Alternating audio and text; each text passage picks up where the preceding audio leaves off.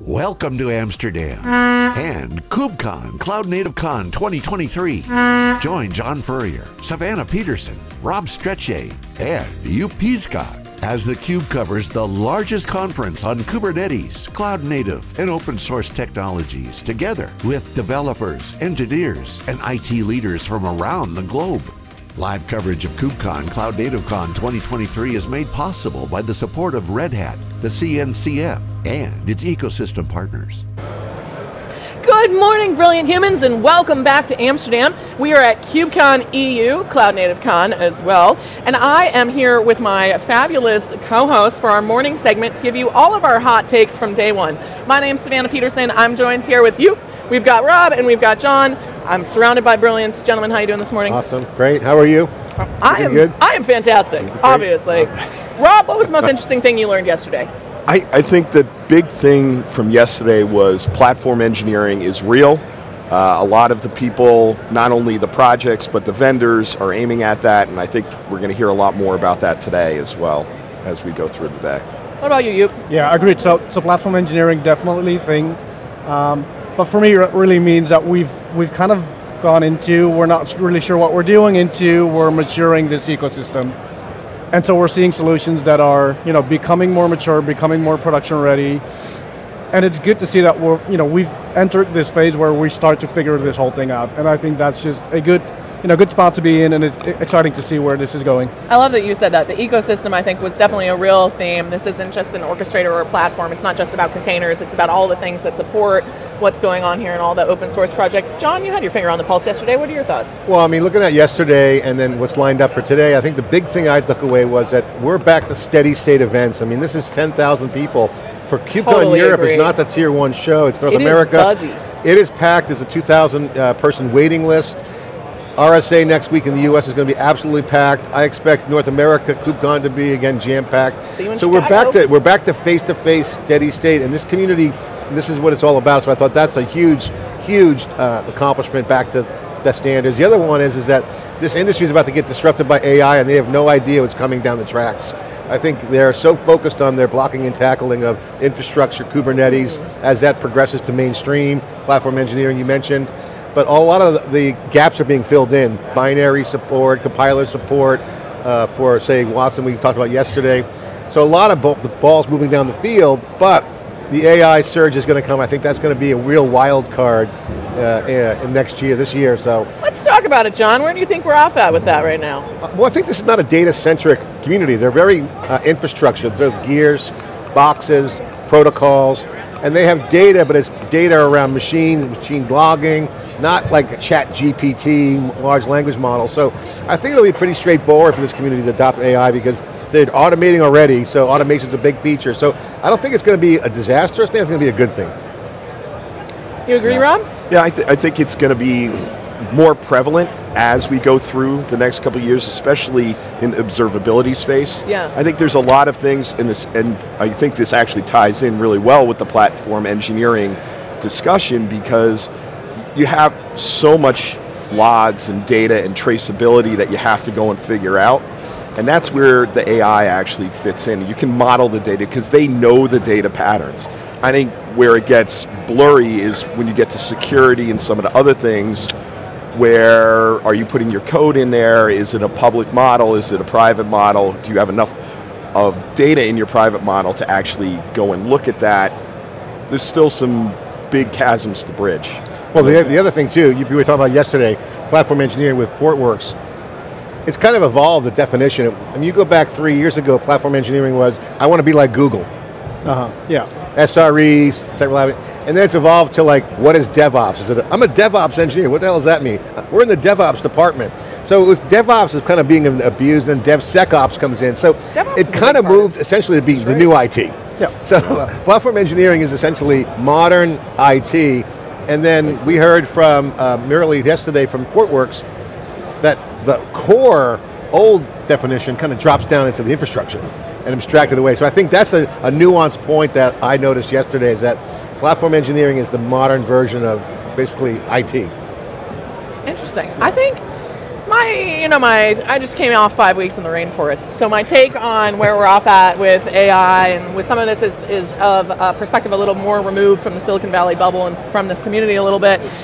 And I have to say, I'm a little worried about the governance and the ethics of what's going on. I, I, think that actually the open source community is perhaps one of the only gate checks that we're going to have with this. With some of the, you know, you've got the biggest companies in the world in an arms race right now to, to own this space. And that's exciting because it's pushing innovation forward, but it also makes me a little bit nervous because we all know how biased some of those models can be given their data sets or, or some of the darker side of this. There's a lot of customer privacy issues depending on what you're loading in and, and how private that is. And I do think security is a big deal.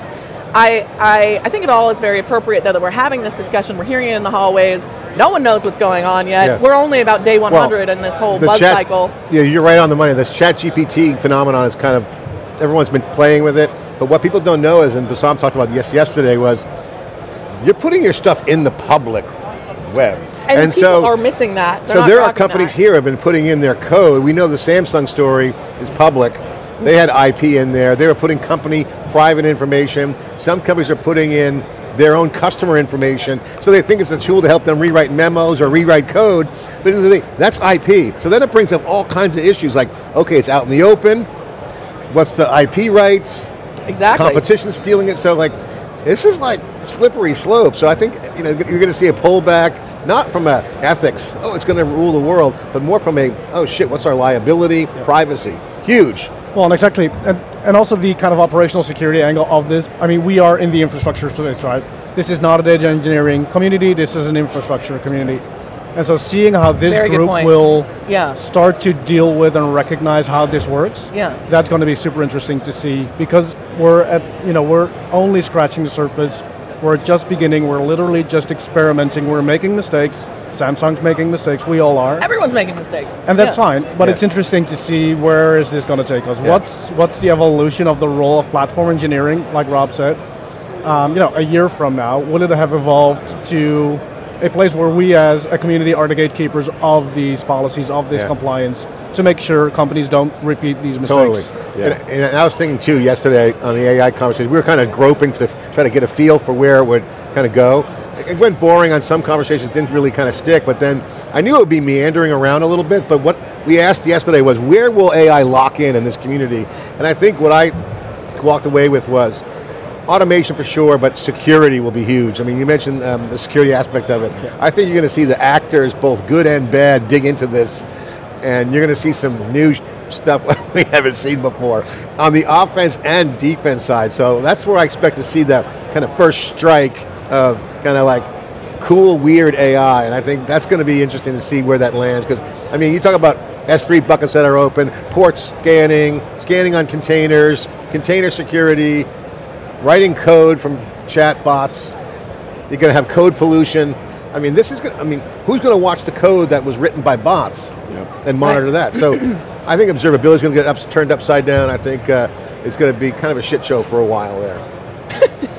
That's a good technical term. For yeah. I, I, think, I think code pollution. We're, we're I, and I, one of my favorite terms in the world. So I, I, I think when you hey, look, we're bringing the you know yeah, you got to bring it in the morning. I mean, it, I think when you look at it, it's it's it was funny because I was just at the keynote and they were talking about the up project update for confidential computing and things of that nature. So to your point, from an infrastructure perspective, there are some things that are competing to help anonymize things, not just encryption, but how do you tag things and use them in a more general way. And I, I think that's going to be interesting. I don't think that gets enough airtime here.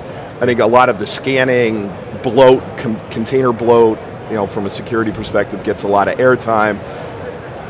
But there's things that are, are happening. Um, I also thought what was interesting, and it will be interesting to hear today, is there was a big talk, like a really good talk. Um, by one of the presenters from CNCF uh, this morning about how not enough people are stepping up and really becoming leaders of projects, and they're having a gap, a, you know, like That's a real yeah. talent gap in leading these projects, and I think that to me is super interesting given the community and how big it's gotten with you know 190 plus right. projects going on. And they're yeah. also talking about yeah. contributor burnout with 54. I was just going to say it's yeah. a lot of work, and I think, and that's that's just it. I mean, it's open source. A lot of this stuff is unpaid. Folks are doing this Yeah. because they want to see these projects move forward, and that's actually why I think it's really cool that we're here and we, we like we had a conversation with Red Hat and how they help support a lot of these projects as Yeah. well. It's going to take.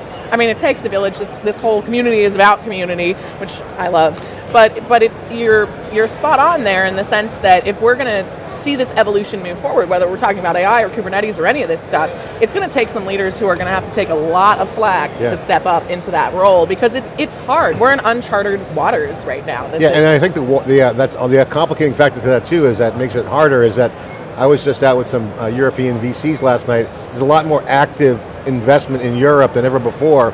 Um, just go back the past 10 years, that last cycle, it's on the upward slope big time on Europe. So one, how are you going to get burnout on contributors that when the alpha VCs are poaching the best talent to build companies? So, you know, the question is going to be, can the open source funding model, which was beautiful last cycle, which was you start a project, you do it in open source, it's kind of a freemium, and you turn it into a company, can that continue? That's going to be the real wild card. I think if they get that right, if the, if the greed pulls them, pulls them out of the community, you know, that could put more stress on the system. Yeah, you're, you're our definitely. token European. What's your hot take here? No, I, I- I mean, I, I completely agree that the, the market here in Europe is hot. It is still very much moving, and you, we see it around us, right? The You can tell just from the energy in this room right the now. energy, the buzz Yeah. in this in this room at this event this week has been astounding. I did not expect it. I am very pleasantly surprised by it. but it does agree. show that Europe is leading in this open source realm. Um, and we're seeing VCs jump on that. We're Yeah. seeing, like like John said, we're seeing a lot of activity here. Um, and I think you know part of it is the active role of the foundations behind this community, Mm-hmm. bridging that gap, driving this effort. Yeah. Um, and I, yeah, I, The I other thing too, sense. the other uh, Savannah that you point out is that we were talking about this last night, riffing on this. What trade shows? And they used to be in the business, you had like independent events uh, for the conferences and trade shows. It's not like that anymore. It's AWS reInvent. That's Amazon, CNCF's Linux Foundation. I heard they're making so much cash on this event. This is a de facto open source community and um, industry event at the same time. So Really that's is. interesting. Europe's booming on the VC side, but coming back and looking at cloud growth in the uh, in EMEA, uh, Europe, Middle East, and Africa, and Asia Pacific, you have Europe in particular on the enterprise side that's starting to starting to grow, but it's growing by country. And so you have kind of sovereignty issues. You mentioned compliance and governance.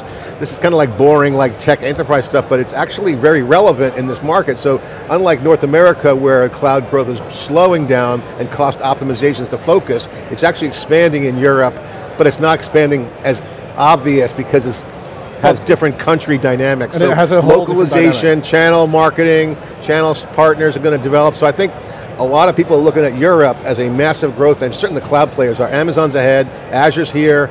You're going to, you're to start to see a whole nother ball game, I think, this year and the next five with, with cloud. I mean, you're, you're here, you're living it. Yeah, yeah, we're, we're going to see a lot of sovereign clouds, a lot of smaller clouds. You know, I'm not saying on-prem is going to make a comeback, but self-hosted is going to become a thing again. Yeah. Um, and so the pendulums, you know, we went all the way to cloud, and now the pendulum is starting to swing back. Uh, and especially in Europe, that whole sovereign Yeah. aspect of it, that's going to be a big differentiator for, you know, for everyone in the community, the vendors, everyone. But going to your point on the data and the cloud, I mean, just look at the, I'll just, because I came from the data side of things most recently, you start to look at that Google Analytics has been outlawed in five countries in Europe. because the data goes outside of Europe Yeah. from a GDPR. You start to look at how it's being torn apart a little bit from a big Yeah. conglomerate perspective. I do think things are coming back on prem a lot more, especially in the dev and test area, where people are looking for that on-prem, cloud on-prem experience. And there was a lot of talk about that yesterday even, and I, I think Yeah. that's going to be huge because it's a cost savings aspect. I think there's a swing of the CFOs in these major companies back to CapEx, and I think that's Well, going to be and I mean, cost optimization is a huge theme across Yeah. the board, no matter the industry right now. Yeah. Yeah. I mean, we're seeing things like the collapse of banks, Silicon Valley Bank. Was that as big of a story here as it was for us in the U.S.? It was, it was, it, it you know, yeah. What's, people- what's the people- EU hot take on that? Well, people started to get really worried really quickly.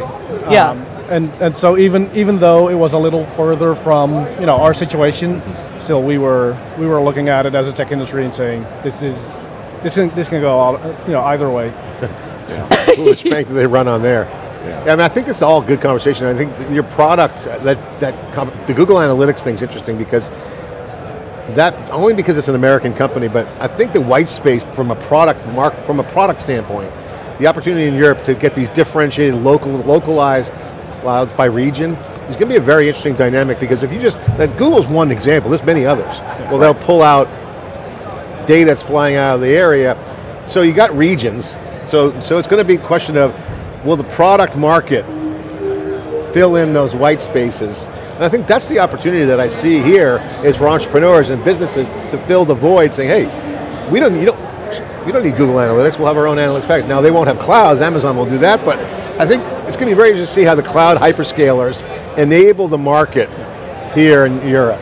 That's going to be a very interesting thing. And how does open source fill that goal? Because if more WebAssembly-like projects continue, the idea of developer productivity continues to get better, it's going to be faster coding time, it'll be faster MVPs built, um, it'll be very interesting. It, it, will be, and one of the things that I think is really interesting, I mean, since we're kind of doing this EU-NA comparison right now, I find, and, and this is this is a perception thing. I don't have any data behind this. This is my personal opinion. The community here is so inclusive, mm. and I mean the open source community as a whole is extremely inclusive. But a lot of the conversations that we've had between the big brands and some of the smaller startups that are here, it's experts helping that next generation along. So perhaps there's not that traditional leadership role, but there is a desire for everyone to educate everyone else right now, especially because we're moving at scale, at velocity, with a lot of different technology all piling into one. Which is kind of it's an interesting intersection. It's an exciting time to be alive. Absolutely. Rob, what did you do last night? Did you have fun? I, I had dinner and I then just dealt with emails and other stuff. Not not not fun. Not maybe a little more fun tonight. But oh, you I can tell we'll what really happened. Come on. Yeah. I, I, I Don't hold back. Don't hey, hold back. I mean, today is you know April twentieth. I went back to my room so. and worked, and I was and I you know, said a prayer, and went to bed at eleven. You know, I was Bless good. you, John. I was yes. very. Bless you. I was very good last night. You were a good boy. I went out with one of our favorite guests. I went out with Kasten last night and had an absolute blast. And I know you had some fun at karaoke. Karaoke, yeah, all night long. Cute yeah. karaoke. And then you showed up wet and hungover, which is just a great place to be. That's just a great start of the day. On that note, ladies and gentlemen, joined by these fabulous gentlemen, my name is Savannah Peterson. It is 420. We are in Amsterdam, and you are watching our live broadcast of KubeCon EU. This is theCUBE, the leading source for emerging tech news.